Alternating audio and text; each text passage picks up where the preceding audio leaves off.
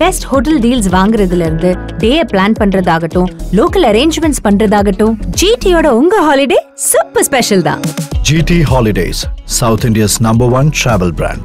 You know your special when you with GT holidays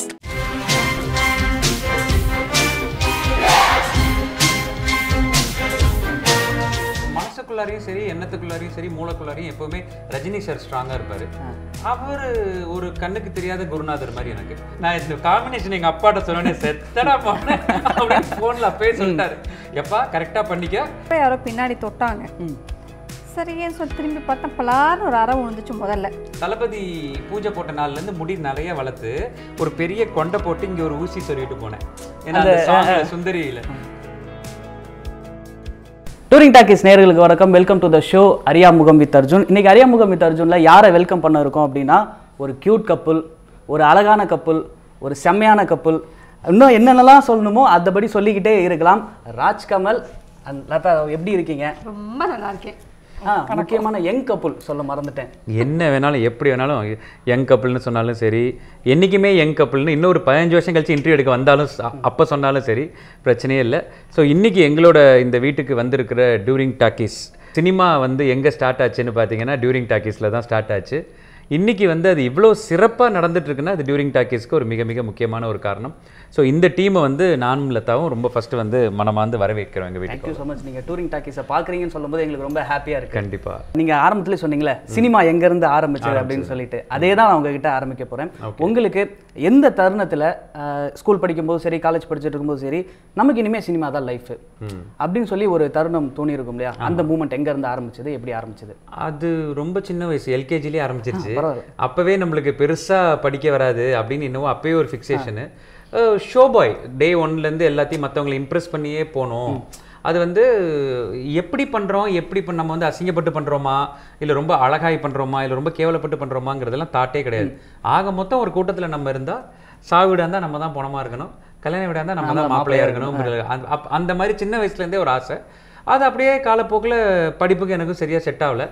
ஓரளவுக்கு படித்தேன் இருந்தாலுமே கூட சினிமா தான் எனக்கு எல்லாமே அப்படிங்கிறது நான் அப்போவே ஃபிக்ஸ் ஆகி அப்போ இருந்து சின்ன வயசுலேருந்தே அதுக்கான ஆசைகளோடு இருந்தேன். பட் அது நடக்குமா இல்லையாங்கிறது தெரியல. டியூரிங் டாக்கீஸ்க்கு ரொம்ப ரொம்ப நெருக்கமான ஒரு நபர் தான் நான் சினிமாவுக்கு வர காரணம். அது யாருன்னா மக்கள் கலைஞர் திரு. ஜெய்சங்கர் சார். ஏன்னா டூரிங் டாக்கீஸோட என்ன சொல்கிறது அவர் ஓனர்னு சொல்கிறதா இல்லை கிரியேட்டர்னு சொல்கிறதா எங்களோட சித்ரா லக்ஷ்மணன் அங்கிள் அவர் வந்து எந்த இன்டர்வியூலையுமே வந்து மக்கள் கலைஞர் ஜெய்சங்கர் அவர்களை பற்றி பேசாமல் அதாவது வேற யாராவது இன்டர்வியூ எடுத்துட்டு இருந்தாலும் கூட இவரா ஒரு நாட்டை போட்டு அந்த ஜெய்சங்கரோட பேரை வந்து உள்ளே கொண்டு வருவார். ஸோ அப்பேற்பட்ட மக்கள் கலைஞர் ஜெய்சங்கர் அவங்க வீட்டில் வந்து எங்கள் அப்பா வந்து ரசிகர் மன்ற தலைவர். அப்போ இருந்தே எல்லாரும் இவங்கெல்லாம் பழக்கம். எனக்கு சினிமாவோட அப்போ இருந்தே தொடர்பு இருந்துச்சு. போய் பார்க்குறது ஷூட்டிங் பார்க்குறது. அப்போ இருந்தே மனசுக்குள்ளார ஒரு ஆசை. பண்ணிடணும். நம் நம்ம இந்த ஏரியாக்குள்ள வந்து நிற்கணும்னு ஒரு ஆசை. ஸோ அது வந்து மறுபடியும் மக்கள் கலைஞர் ஜெய்சங்கர் அவர்கள்ட்ட வந்து அவரே வந்து சித்ரா லட்சுமணன் அங்கிளாக இருக்கட்டும் இல்லை டெல்லி கணேஷ் அங்கிளாக இருக்கட்டும் இவங்களெல்லாம் கூப்பிட்டு இந்த பையன் ஏதோ பண்ணுறாயா தேர்வானான்னு பாருங்க. அப்படின்னு சொல்லி இந்த மாதிரி அவருக்கு அவருக்கு சினிமானா சித்ரா லட்சுமணன் அங்கிள் தான் ஏன்னா அவர் இவரு தான் சித்ரா அங்கிள் தான் ஜெய் ஜெய் அங்கிளோட பிஆர்ஓ ஆரம்ப கால பிஆர்ஓ அதுக்கப்புறமும் கூட கண்டினியூஸாக ட்ராவல்லே இருப்பாங்க. அங்கிள் ஜெய் அங்கிள் எது பண்ணாலும் இம்மீடியட்டாக சித்ரா இது கரெக்டாப்பா அப்படின்னு சொல்லி பேசிட்டு தான் பண்ணுவாங்க. ஸோ மறுபடியும் இவங்ககிட்டலாம் அமிச்சாங்க. இவங்க இன்னைக்கு என்ன கொண்டு போயிட்டு இருக்காங்க ஸோ இதுதான் நம்ம வந்த கதை. அப்பா இவ்வளோ பெரிய ஹிஸ்ட்ரியெலாம் எனக்கு கிடையாது. ஏன்னா என்னோட ஃபேமிலியில் யாருமே சினிமா சம்மந்தப்பட்ட ஆள்கள் கிடையாது. இண்டஸ்ட்ரியில் யாருமே இல்லை. நான் தான் என் பரம்பரைக்கே நான் தான் முதல் ஆள்னு சொல்லலாம். இவரை மாதிரி இவருக்கு வந்து ஆக்டிங் மீடியாங்கிறது பேஷன் எனக்கு அப்படிலாம் இல்லை. நான் நல்லா படிக்கணும் எல்லாரும் சொல்லுமா டாக்டர் ஆகணும். அந்த மாதிரி தான் ஒரு ஆசையில் இருந்தேன். ஒரு சின்ன ஸ்பெல்லிங் மிஸ்டேக்கில் ஆக்டர் ஆகிட்டேன் அவ்வளோதான் நல்ல ஸ்டூ நல்லா படிக்க ஸ்டூடெண்ட் தான் ஸ்கூலை பொறுத்த வரைக்கும். எல்லாத்துலேயுமே ஸ்கூல் ஃபஸ்ட்டு கிளாஸ் ஃபஸ்ட் கூட இல்லை ஸ்கூல் ஃபஸ்ட்டு அந்த ரேஞ்ச் தான். பட் சில பல காரணங்களால ஸ்டடீஸை கண்டினியூ பண்ண முடியல. ஃபேமிலிக்கு சப்போர்ட் பண்ண வேண்டிய ஒரு நிலைமையும் இருந்ததால் கரெக்டாக அந்த நேரத்தில் இந்த வாய்ப்பும் வந்தது. பண்ணலாமா வேணாமா பண்ணலாமா வேணாமான்னு ஒரு ஆக்சிலேஷன்லேயே இருந்தப்ப இந்த மாதிரி சான்ஸ் கிடைக்குது நான் இருந்தது வந்து பவானி சாகர்னு ஒரு குக்கிராமம்.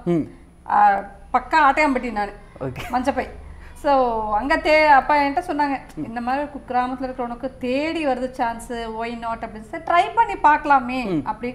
ஒருவேளை இதில் எழுதியிருந்தா இது மூலமாக நம்மளோட ஃபினான்ஷியல் கிரைசிஸ் எல்லாம் தீர முடியும் அப்படின்னா ஒய் நாட் அப்படின்னு வந்தது தான் அப்படி வந்தது மெட்டி ஒலியில் இன்ட்ரடியூஸ் ஆனோம். அப்படி அப்படியே இப்போ பார்த்தா அப்படி திரும்பி பார்த்தா வருஷங்கள் ஓடிடுச்சு.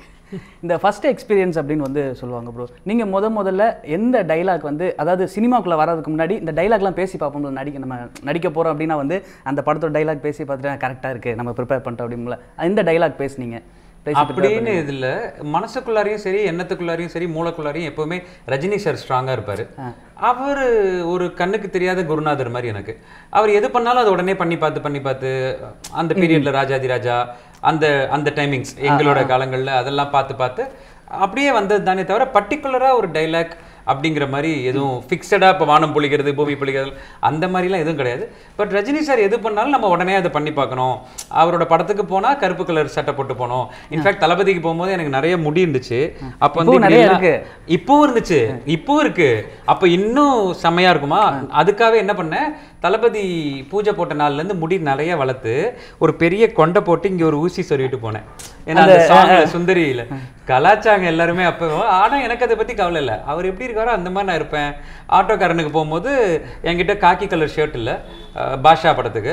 காக்கி கலர் ஷர்ட் போடணும். அது என்னமோ தெரியல அந்த மாதிரி ஒரு கிரேஸ் அம்மா அப்பா வாத்தியாருங்க இவங்கெல்லாம் சொல்லி கூட ஏறாத ஒரு சில விஷயங்கள் வந்து இன்னைக்கு நான் இவ்வளோ கரெக்டாக இருக்கேன்னா என்னவோ அவர் இது அது கூட அவரா பேசினது இல்லை யாரோ எழுத்தாளர் எழுதி கொடுத்து யாரோ இயக்குனர். ஆனா அவர் மூலமா அது வரும்போது குடும்பத்தை நல்லா பார்த்துக்கணும். கெட்ட பழக்கம் வேண்டாம். ஸோ அதுதான் இன்னைக்கு நான் கரெக்டாக இருக்கிற ஒரு கைடன்ஸ் ஸோ அந்த கேரக்டரை பிடிச்சே வந்ததால அப்படிதான் ஓடி இருக்கே தவிர பர்டிகுலராக இன்னரை பிடிச்சி பேசினதுன்னு எதுவும் இல்லை. கேமரா முன்னாடி நின்று பேசின ஃபர்ஸ்ட் டைலாக் ஞாபகம் இருக்கா? அந்த அனுபவம். ஒரு பெரிய ஒரு சுழி தான் என்னன்னா நடிக்க வாய்ப்பு தேடியாச்சு கிடைச்சிருச்சு. கிடைச்சது யாருன்னு பார்த்தீங்கன்னா நான் இங்கே நிற்கிறேன் கேமரா இந்த மாதிரி லைட்ஸு. கேமராக்கு பின்னாடி டைரக்டர் திருவாளர் கே. பாலச்சந்தர் சார். அதில் இன்னொன்று பெரிய விஷயம்னா இதே மாதிரி வந்து லைவ் சவுண்டு மைக். ஒரு பீரியட்ல வந்து ப்ராம்ப்ட் எல்லாம் பண்ணுவாங்க. பின்னாடி இருந்து சொல்லி சொல்லி. அதெல்லாம் இங்க பண்ணவே முடியாது கேபி சார் கிட்ட. முத முத கொடுத்ததே ஒரு எட்டு பேஜ் டைலாக் சூப்பர் இந்த பக்கம் மோகன் ராம்ங்கிற ஒரு மிகப்பெரிய முதல்ல மோகன் ராம் அங்கிள் இந்த பக்கம் வரதராஜன் சாருங்கிற ஒரு மிகப்பெரிய ஒரு இது வந்து முதல்லன்னா அது கடல். அந்த பக்கம் ரேணுகா ஆண்டி எல்லாருக்கும் நடுவுல சஹானான்னு ஒரு சீரியல் சிந்து பைரவி படத்தோட பார்ட் டூ மாதிரி. இதுல என்ட்ரி ஆவறது வைஜி மகேந்திரன் சார் நான் இந்த காம்பினேஷன் எங்க அப்பாட்ட சொன்னேன் செத்தடா போனேன் அப்படின்னு போன்ல அப்பவே சொல்லிட்டாரு. எப்பா கரெக்டா பண்ணிக்க. இன்னைக்கு தான் உனக்கு ஃபர்ஸ்ட் நினைச்சுக்காத இன்னைக்கு தான் உனக்கு லாஸ்ட்னு நினைச்சுக்க. இங்க நீ பண்ணிட்டேன்னா உன்னை அப்படியே கொண்டு போயிருவாங்க. இங்க நீ பண்ணலன்னா நீ அவுட்டுன்னொடனே சரி நான் மனசுக்குள்ள நினைச்சிட்டு கேபி சார்ட்ட பிளெஸிங் வாங்கிட்டு அவர் சிவகிருஷ்ணன் ஒரு கேரக்டர் வீட்டை விட்டு ஓடி போயிடுற கேரக்டர் அவனை கூப்பிட்டு இவங்க எல்லாம் திட்டுவாங்க. இவன் ஒரு ஒருத்தர்கிட்டையும் போய் தன்னோட நியாயத்தை சொல்லுவான். நான் இப்படி தானப்பா பண்ணேன் நீங்க என்ன வச்சுக்க கூடாதா அது- அதுல ஐயர் வேற. நான் சுத்தமான கறிக்கடை பாய். இது வந்துட்டேன் போயிட்டேன் இதெல்லாம் வரவே வராது. என்னடா இப்படி ஒரு நிலைமை? சரி பண்ணிடுவோம்னு சொல்லி சிங்கிள் ஷாட்ல கரெக்டா அந்த எட்டு இது முடிச்ச உடனே கேபி சார் கூப்பிட்டு பர்ஃபெக்டா இருந்துச்சுடா ரொம்ப நல்லா இருந்துச்சுன்னு. அன்னைக்கு சாயந்தரம் வெளில போறப்போ கண்ணா இந்த ராஜ் டிவிக்கு ஒன்று பண்றேன் நான் ரெக்க கட்டிய மனசுன்னு. அதுல ஒன்று சொல்லிடுறேன் நீ அதுலயும் பண்ணிரு அப்படின்னு. அங்க இருந்து ஆரம்பிச்சது தான். இன்னைக்கு டூரிங் டாக்கிஸ் இன்டர்வியூ லெவலுக்கு வந்திருக்கு அவ்வளவுதான். உங்களோட ஃபர்ஸ்ட் டைலாக் கேமரா முன்னாடி பேசினது ஞாபகம் இருக்கா? இல்லை என்ன நடந்தது அந்த அனுபவம்? ஞாபகம் இருக்கு. மெட்டி ஒலியில வந்து திருமுருகன் சார் அந்த ப- அந்த சீரியல கோபி கேரக்டருக்கு பொண்ணு பார்க்க போறோம்.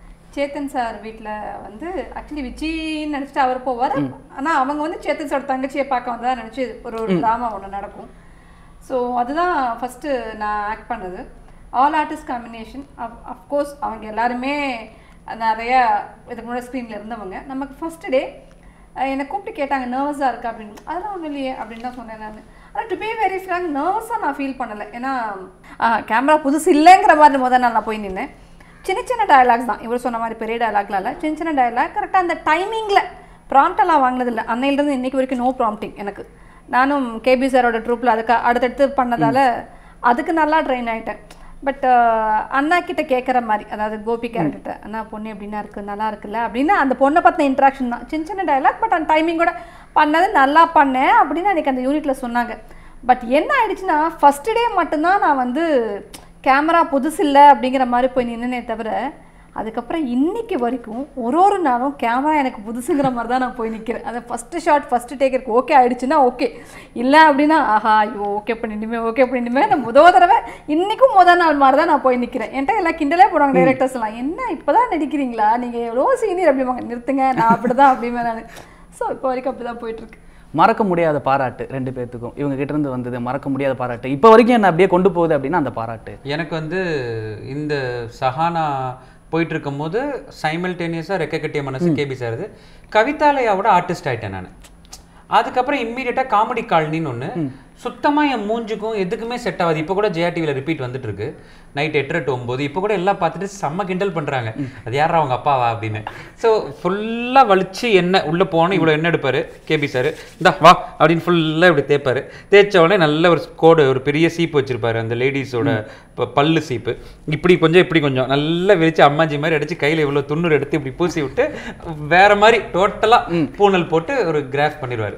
பயங்கரமான டிப்பிக்கல் ஐயர் பையன். சஹானாலயாவது கொஞ்சம் ஜாலியான கொஞ்சம் ரிலாக்ஸாக இருக்கிற ஐயர் பையன். இது வந்து என்னென்னா வந்துட்டேன்னு போயிட்டேன்னு உச்சக்கட்ட ஐயர் அதில் வந்து காமெடி ஸோ அதில் அவர் என்ன பண்ணாருன்னா என்னை வச்சு தில்லுமுள்ளு ரஜினி சார் மாதிரி நிறைய விஷயங்கள் அதில் ப்ளே பண்ணிக்கிட்டே வந்தார். நான் ஏமாத்திக்கிட்டே இருப்பேன் ரெண்டு மூணு நடுவில். அப்போ திடீர்னு ஒரு நாள் நைட் வந்து எனக்கு அவரோட பர்சனல் நம்பர் முப்பத்தாறு முப்பத்தாறுனா சினிமாக்காரங்க எல்லாருக்கும் தெரியும். சித்ராங்களுக்குலாம் தெரியும். முப்பத்தாறு முப்பத்தாறுலேருந்து ஃபோன் வந்தாலும் எல்லாரும் அலர்ட் ஆவாங்க. அதுலேருந்து ஃபோன் வந்துச்சு. நான் உடனே பயந்துக்கிட்டே எடுத்து பேசும்போது ஏதாவது திட்ட போறாரான்னு பார்க்கும்போது ரொம்ப அழகா ஒரு சில விஷயங்கள் சொன்னார். கண்ணா ரொம்ப கரெக்டாக இருக்குடா. எல்லாமே கரெக்டாக மீட்டரில் இருக்குது நான் எழுதும் போது என்ன மைண்டில் வந்துச்சோ அந்த விஷயங்களை நான் அப்படியே ஸ்க்ரீனில் பார்த்தேன்டா அப்படின்னாரு. எனக்கு என்னவோ அன்றைக்கே நான் வந்து ஆஸ்கர் வாங்கிட்ட மாதிரி எனக்கு ஒரு ஃபீல் ஏன்னா எங்களோட சீன் பேப்பரில் எல்லாமே ப்ளூ கலர் இங்க் இருக்கும். எங்கேயாவது பிங்க் கலர் இங்க் இருக்கும். எந்த டைரக்டர் வந்து கவிதாலயோட சமுத்திரகனி அண்ணனும் சரி இப்போ வெங்கட் சாரும் சரி எல்லாரும் சீன் பேப்பர் வாங்கினா இந்த பிங்க் இங்க்குக்கு தான் கண்ணு போகும். ஏன்னா அது வந்து பெரியவர் பண்ணியிருக்க மாற்றம். சீன் பேப்பர் எழுதி வரதுல பிங்க் இங்க்குங்கிறது குறிப்பா அவர் பண்ணியிருக்க மாட்டோம் நேரா கண் அங்க ஓடும். ஸோ அவர் மேல தான் எங்களோட என்டையர் ஃபோக்கஸும் இருக்கும். ஸோ அந்த கேரக்டர் கூப்பிட்டு நான் என்ன நினைச்சேனோ அதை நீ பண்ணிட்ட அப்படின்னு சொல்லும் போது அன்னைக்கே எனக்கு ஒரு ஓகே டன் அப்படிங்கிற மாதிரி. அதுக்கப்புறம் என்ன தோணிருச்சுன்னா பயங்கரமான ஒரு ஓவர் கான்ஃபிடன்ஸ் வந்துருச்சு மைண்ட்ல எது வந்தாலும் சரி இது பண்ண பண்ணலாங்க பண்ணலாங்க. சரி இல்லை சார் அதுக்காக கொஞ்சம் மாறணும். பண்ணலாங்க பண்ணிக்கலாங்க பண்ணி ஸோ எல்லாமே அசால்ட் ஆயிடுச்சு. அதுக்கப்புறம் எனக்கு என்ன ஆயிடுச்சு? எல்லாத்தையும் நம்மளால ஃபேஸ் பண்ண முடியும் அப்படின்னு ஒரு கெத்து திமிரு அது எல்லாமே உள்ளுக்குள்ள ஆட்டோமேட்டிக்கா ஏறி அதை ஓவர் திமிரா காட்டிக்காம கான்ஃபிடன்ஸ் லெவலை உள்ள வச்சுக்கிட்டு இந்த மாதிரி சைலண்டா பேட்டி கொடுத்துட்டு இருப்போம். சூப்பர் உங்களுது சரவணா ஸ்டோர்ஸ்ல ஒரு தடவை போய் அப்பதான் ஓபன் பண்ணியிருந்தாங்க அந்த கடை. நம்ம அப்ப லெஜெண்ட் நாங்க- கடை டி ஆமா, நகர் டி அப்ப நாங்க நகர். ரெண்டு பேரும் நான் சும்மா எடுத்துட்டு போனேன். என்ன இருக்கு? போய் பார்க்கலாம் வாங்க அப்படின்னு சொல்லிட்டு பா- உள்ள போயிட்டு ஒரு நைட்டி செக்ஷன்ல பார்த்துட்டு இருந்தப்ப யாரோ பின்னாடி தொட்டாங்க.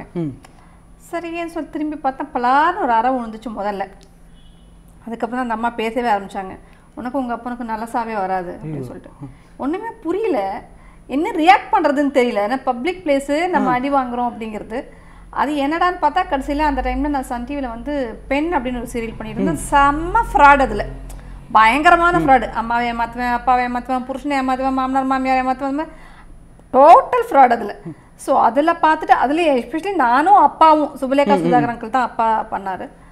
நாங்கள் ரெண்டு பேர் சேர்ந்துட்டு தான் எல்லாரையுமே ஏமாற்றுவோம் அதனால் அந்த லேடி வந்து ரொம்ப காண்டாகி அடிச்சிட்டு சொன்னாங்க உனக்கு உங்கள் அப்பனுக்கும் நல்லா சாவே வராது. அப்புறம் அவங்க டாக்டர்லாம் வந்து சொன்னாங்க தப்பாக எடுத்துக்காதீங்க அவங்க ரொம்ப இன்வால்வ்டாக சீரியல் பார்ப்பாங்க அப்படின்னு சொல்லிட்டு. இது வந்து அ- அறை அப்படின்னு எடுத்துக்கிட்டா நம்ம பப்ளிக்ல வாங்கணும் அப்படின்னாலும் கொஞ்சம் யோசிச்சு பார்த்தா நம்ம பண்ண கேரக்டருக்கான ரிவார்டு அது. அந்த அளவுக்கு அது பப்ளிக்ல போய் ரீச் ஆயிருக்கு அப்படின்னு தான் எடுத்துக்கணும்.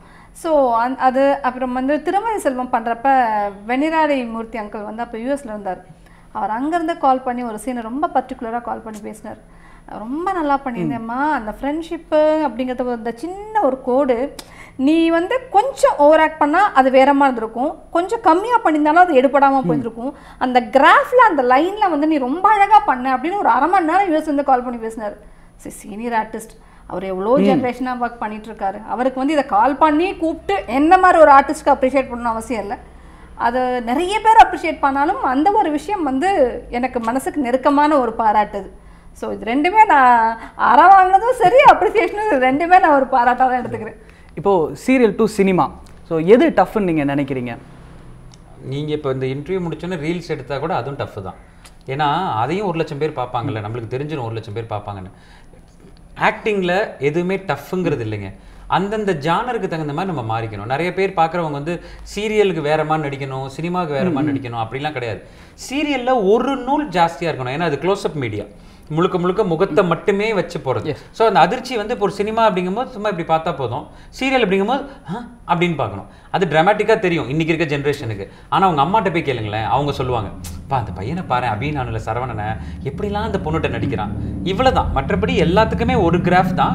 மீட்டர் என்னங்கிறத கையில டியூனிங் வச்சு சரி பண்றது யாருன்னா டைரக்டர்னு ஒருத்தர் தான். அவர் அங்கேருந்து தம்பி குறைச்சிக்கோ. தம்பி இன்னும் கொஞ்சம் ஏத்து அப்படின்னு அவர் சொல்றதை தான் நம்ம பண்றோமே தவிர இதுக்கு அதுக்கு ஒரு பெரிய வித்தியாசம் ஒன்றும் கிடையாது. இல்லை அதான். இவர் சொன்ன மாதிரி இதுக்கு ஒரு நடிப்பு அதுக்கு ஒரு நடிப்பு அப்படிங்கிறது கிடையாது. அது கொஞ்சம் எக்ஸாகரேஷன் எப்பவுமே சீரியலில் இருக்கும்.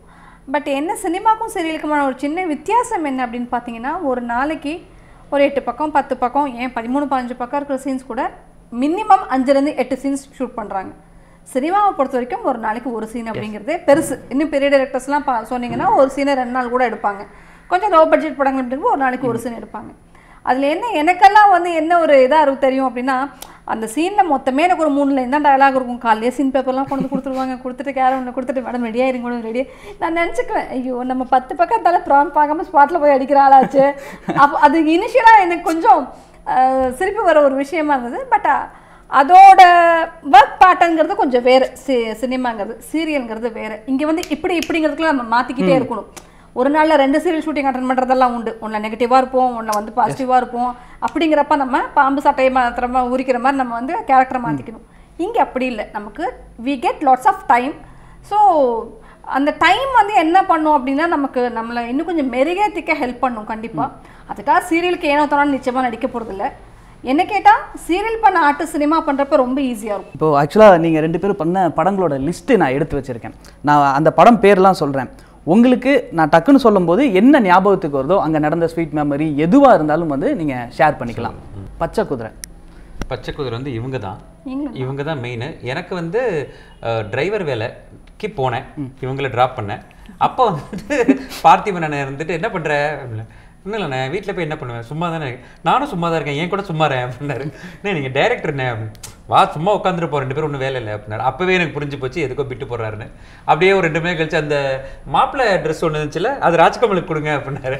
அண்ணே அப்படின்னு போடுறா பரவாயில்ல போடுங்க. போடுங்க ராஜ்கமல் அப்படின்னாரு. போட்டு வந்தவொடனே என்னென்ன பண்ணணும் அப்படின்னா ஒன்றும் இல்லைப்பா ஒரு ஃபைட் சீக்வன்ஸ் சின்ன ஃபைட் சீக்வன்ஸ் அப்படின்னாரு அங்கேருந்து ஒரு டெமன் மாதிரி சூப்பர் சூப்பராக வந்தார். ஐயோ இவரை வச்சு என்ன பண்ண இந்த பையனை தாங்க அடிக்கணும் நம்ம எல்லாம் சேர்ந்து அப்படின்னு வச்சு வெளுத்தாங்க. இந்த ஐநாக்ஸ் தேட்டருக்கு பக்கத்தில் பத்மராம்னு ஒரு கல்யாண மண்டபம். அங்கே வச்சு செம்ம வெளு வெளுத்தாங்க. ஸோ எல்லாம் முடிச்சுட்டு என்ன ராஜ்கமல் சும்மா தானே இருக்கீங்க? அப்படின்னாரு. ஃபைனலாக போகும்போது ஆமாண்ணே. சரி வீட்டில் போய் இப்போ சும்மா இருங்க. அப்படின்னாரு. அதுதான் அதில் நடிச்சது. இவங்க கூட டிரைவராக போனதால் எனக்கு அந்த வாய்ப்பு கிடைச்சது அவ்வளோதான் கல்யாணம் புதுசு. பட் எனக்கு ஃபஸ்ட்டு டே ட்ரையலே என்ன பார்த்தாரு அப்படின்னா கெட்டப் டெஸ்ட்டு நல்லா நரைச்சி போன ஒரு ஃபுல் விக்கை வச்சு ஒரு கண்ணாடியை போட்டு ஃபேஸ் ஃபுல்லாக டல் பண்ணி விபூதி வச்சு லிப்பெல்லாம் வந்து பிளாக் பண்ணி லிட்ரலி ஒரு கிழவியாக மாத்திர ஒரு ஒரு முயற்சியில் தான் கெட்டப் டெஸ்ட் இருந்தது நான் நினச்சேன் என்னடா இது? இவ்வளோ ஓல்டு லேடியாக கெட்டப் பண்ணணுமா? அப்படின்னு சொல்லிட்டு அப்போ சொன்னேன் இல்லை இல்லை இது எங்கும் வரும் உங்களுக்கு. எங்களை பார்த்திபன் பேராகவே வருவீங்க நீங்கள் அப்படின்னு சொன்னார். ஸோ யங் அண்ட் ஓல்டு ஒரு இதில் பண்ணுறோம் அப்படிங்கிற ஒரு சின்ன இதில் தான் நான் பண்ணேன். பட் அஃப்கோர்ஸ் அவர் அவருள்ள ஒர்க் பண்ண நிறைய கற்றுக்கலாம் அந்த மாதிரி ஒரு டைமிங் சென்ஸு ஒரு பயங்கரமான அந்த ஹியூமர் சென்ஸ் அதெல்லாம் வந்து அவர் பேச பேச கேட்டுக்கிட்டே இருக்கலாம் அந்த மாதிரி இருக்கும். பட் எனக்கு வந்து டக்குன்னு என்ன தோ தோணுச்சு அப்படின்னா அவர் செத்து போகிற சீன் ஒன்று பண்ணோம். அந்த ஓல்டு லேடி கேட்ட போட்டுக்கிட்டு அழுது முடித்தப்ப ஹீரோயின் வந்து நமிதா மேடம் அவங்க சொன்னாங்க ஓ my God you are performing like oh my God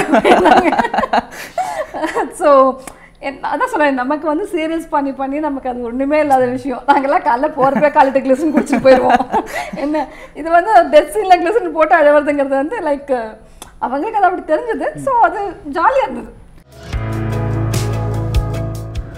ஷூட்டிங்கில் அது வெங்கட் பிரபு அண்ணன் கேட்கவே வேணாம். நான் இதை ஆட வரலண்ணே. உனக்கு என்ன வருதோ ஆடு. நீ ஆடுறத நான் எடுத்துக்கிறேன். சார் இந்த சும்மா இருக்கேன்னு ஒரு போஸ்ட் போட்டீங்கல்ல அது ஆக்சுவலாக நல்லா இருந்துச்சு சார். அந்த மாதிரி வாங்க. ஏன்னா சும்மா இருக்கேன்னு போஸ்ட் போட்டது கூட இது சொல்லி கொடுத்தது ரஜினி சார் தான். ஏன்னா கண்ணி சார் சொன்னாரு நீ நடிச்சிடாத கண்ணை காட்டியே ஏமாத்து அப்படிம்பாரு. இப்பவுமே அப்படி சொல்ல நீ நடிக்காதம்மா கண்ணை உருட்டி விட்டு ஏமாத்திரு அப்படிம்பாரு. இப்போ இன் இன்னார் தான் சூப்பர் ஸ்டார் தான் உலக நாயகன் தான் அப்படின்னா நம்மளுக்கு ஒரு கேரக்டர் மைண்டில் வருது இல்லை பரபரப்பான சினிமா செய்திகள் நட்சத்திரங்களின் பேட்டிகள் சினிமா வரலாறு ஆகியவற்றை பார்க்கவும் படிக்கவும் உங்களுக்கான இணையதளம் tour and talkies dot co